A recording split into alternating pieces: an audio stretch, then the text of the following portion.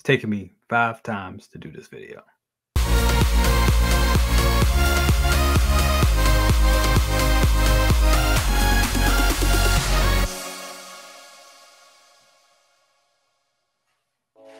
What's up, YouTube? It's your boy Jay from Brother Cousins Toy Reviews. That's right, I am back with the news.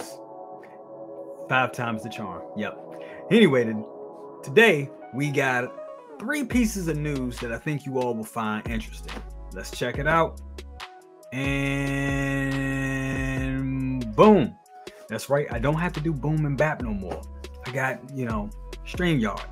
Anyway, guys, so today what we're going to be talking about is Hot Toys just posted on their YouTube page.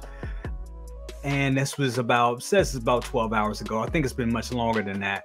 But uh, it says returning villains Green Goblin, Doctor Octopus, and Electro get their own Spider-Man posters ahead of ahead of the film's release. Who is are the characters you expect Hot Toys to announce in their collectible figure? Let us know your thoughts. So really, I mean, it looks like we're going to be getting some villains. And I know a lot of people are happy about that. You know, we just can't have Mysterio. Give us some villains, you know? So, you know, going by the uh the trailers, it looks like the big villains in Spider-Man No Way From Home will be Green Goblin, Dr. Octopus, and Electro. So we're definitely looks like it's definitely looking like we're to get those figures, get those in figures form.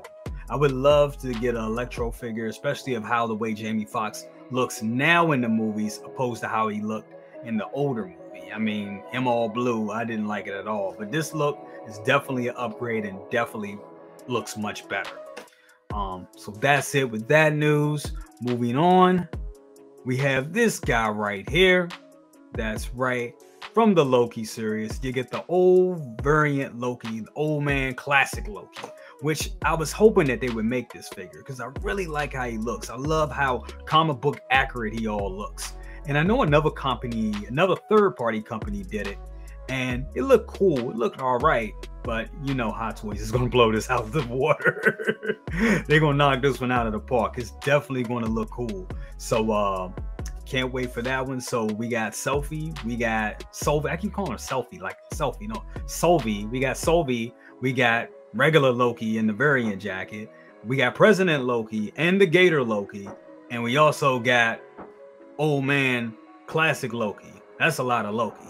I'm just gonna stop saying Loki, but there we go. You got it. All right, and for our third piece of news right here, we got that's right, the Bat Pod has been released. Um, Sideshow Collectibles did their unboxing yesterday. I know their unboxing.